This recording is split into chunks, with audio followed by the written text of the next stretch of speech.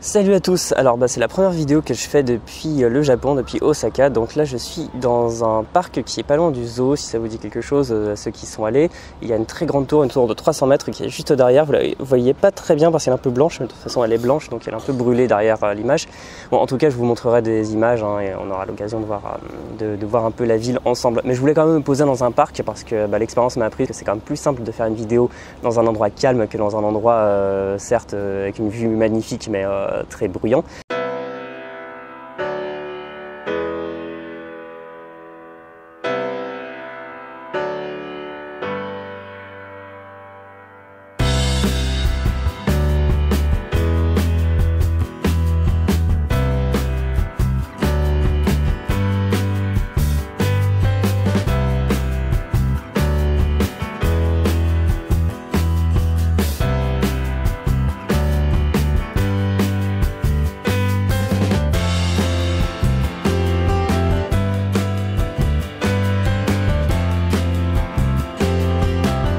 Donc je suis arrivé hier soir. Euh, alors j'ai voulu commencer par Osaka et plutôt par le Kansai. Bon, il y a des gens qui disent que c'est l'ouest, mais bon, il y a quand même beaucoup de choses beaucoup plus à l'ouest au Japon.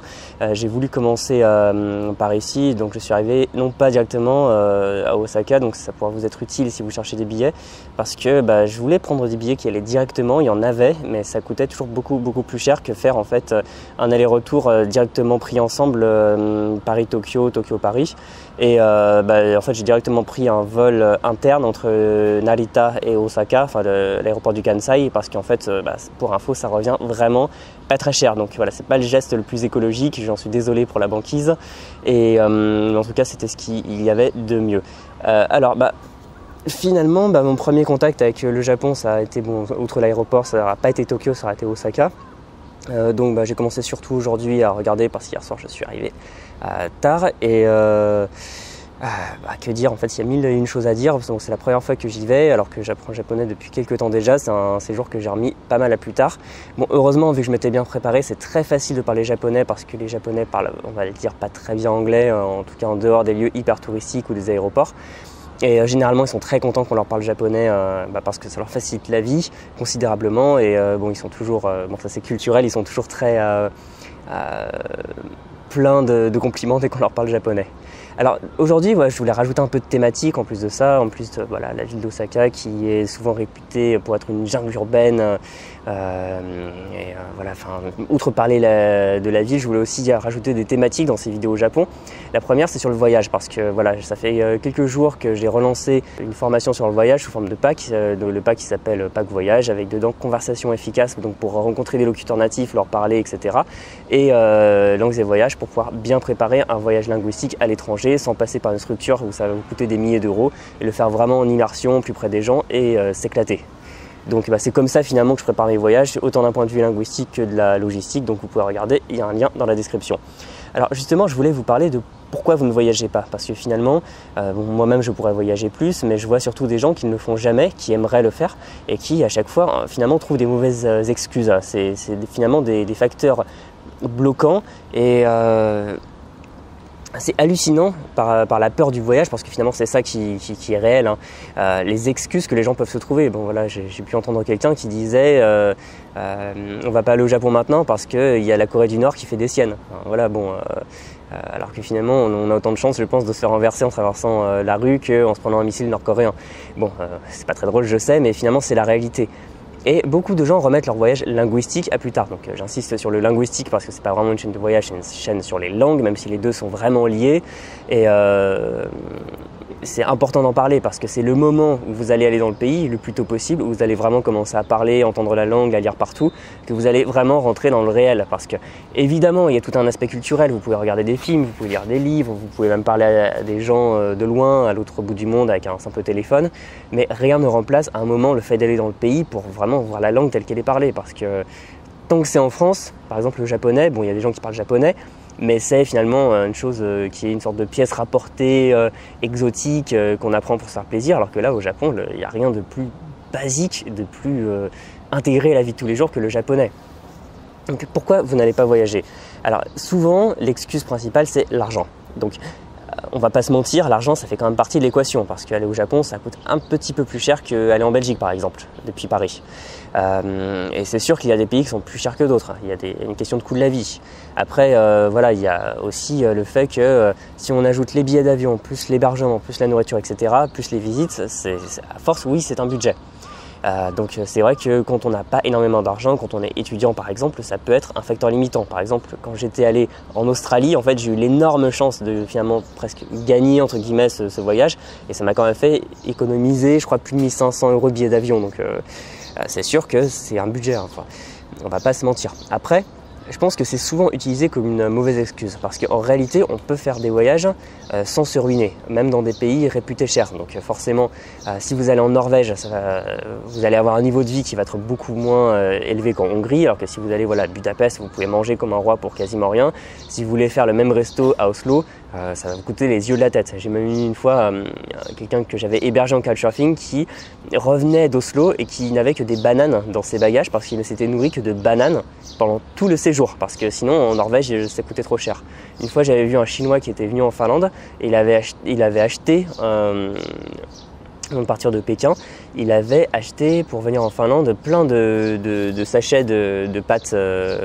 Euh, de pâtes instantanées, de nouilles instantanées pour pouvoir les cuisiner en Finlande parce que pour lui la nourriture coûtait cher. Alors que bon, je pense pas que le, niveau de vie de Pékin soit si bas que ça. Mais bon, il était étudiant donc ça devait jouer. Alors Franchement, il y a plein de, formules d'hébergement, par exemple, qui sont moins chères. Il y a les auberges de jeunesse. Les auberges de jeunesse, on imagine souvent des dortoirs euh, dans un état déplorable qui ferment mal, euh, où on se fait voler des affaires. Bon, ça peut arriver, ça arrive très souvent même. Mais bon, même dans des auberges, honnêtement, j'ai déjà trouvé euh, des chambres privatives avec douche et honnêtement, le confort, il est comme à l'hôtel. Il y a un peu moins de service qu'à l'hôtel, mais la question c'est avez-vous vraiment besoin de ce service? Pour les trajets, c'est pareil. Bon, maintenant, on est dans l'époque des, voyages low cost, donc ça coûte beaucoup, beaucoup moins cher d'aller dans un pays. Et pour se déplacer, il y a les cars, euh, euh, le train parfois qui est moins cher. Et aussi, il faut voir, par exemple, si vous ne pouvez pas aller dans un aéroport secondaire, par exemple, partir plutôt que depuis Paris, partir depuis, je sais pas, Charleroi en Belgique, et euh, aller dans le pays plutôt qu'aller directement dans la capitale. Parfois, il y a des, billets vraiment à prix sacrifié pour y aller pour beaucoup moins cher. Euh, la nourriture, c'est pareil, vous n'êtes pas obligé d'aller au restaurant. Si vous allez par exemple dans une auberge de jeunesse ou si vous louez un appartement, bah, vous aurez sans doute une cuisine dans laquelle vous pourrez vraiment euh, bah, cuisiner pour pas très cher, sauf si la, nourriture est chère dans les supermarchés, mais c'est une option en plus. Et, finalement, même s'il y a des coûts incompressibles, et aussi on peut se faire plaisir, on peut vouloir aller au resto, visiter des musées, euh, aller boire un verre, etc bien souvent, c'est une mauvaise excuse parce qu'on peut, euh, peut vraiment voyager pour moins cher à condition de sacrifier un peu de confort et un peu de temps. Parce que finalement, voyager plus cher, c'est quoi? C'est juste en fait euh, acheter du temps avec de l'argent. C'est-à-dire qu'au lieu de cuisiner tout seul, on va au, resto, c'est plus cher mais on a déjà tout. Au lieu de chercher un hébergement chez l'habitant, type couchsurfing qui est gratuit, qui prend beaucoup de temps, on réserve directement un hôtel. Ça prend plus de plus d'argent mais moins de temps. Donc ça, prend moins de temps, voilà.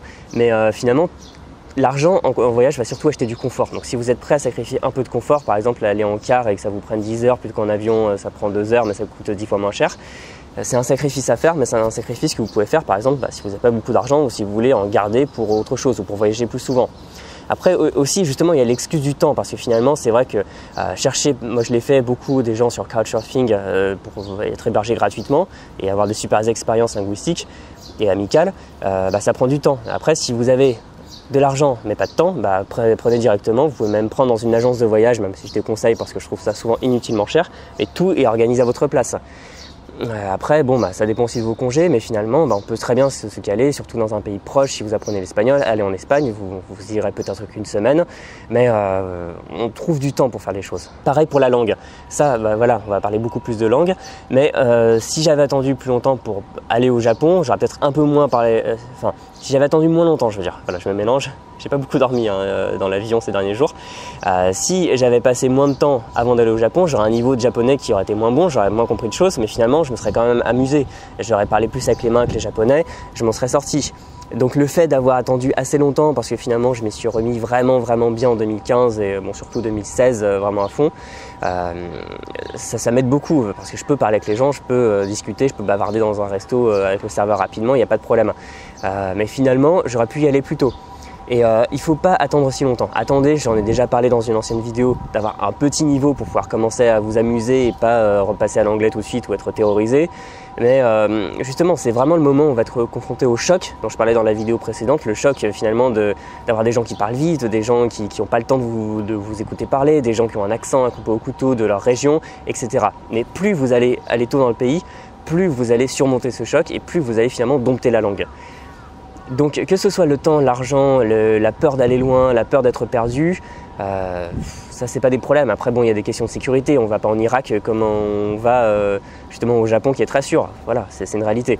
Mais réfléchissez et si vous n'arrivez pas à faire un voyage, demandez-vous si c'est réellement pour une, condition euh, actuelle qui est réelle, parce que ça peut arriver, on peut faire un déménagement et donc perdre de l'argent et du temps et ne pas pouvoir voyager, ou si finalement c'est pas un blocage psychologique. Donc si c'est un blocage, bah finalement bah, vous, pouvez même écrire un mail pour qu'on en parle et euh, vous pourrez euh, réfléchir à tout ça et surtout à un moment vous dire bon en réalité je peux partir dans ce pays, j'ai le temps, j'ai l'argent, même si c'est pas ensuite à 5 étoiles, j'y vais. Et euh, si j'ai pas de niveau, c'est pas grave parce que de toute façon, on n'a jamais de niveau parfait qu'on voudrait avoir pour aller dans un pays. Moi, si je pouvais parler tout le temps, tout le temps couramment japonais euh, sans faire de faute, je le ferais. Mais c'est pas encore le cas. Et justement, ce voyage est une étape, euh, une marche dans l'escalier pour m'y aider un jour. Voilà, donc je vous dis à très bientôt. Je vous montrerai sans doute pas mal d'autres choses d'Osaka. On se revoit dans une prochaine vidéo ou plus tard dans cette vidéo. J'ai pas encore réfléchi à comment je vais monter tout ça. Je vous dis à très bientôt. Salut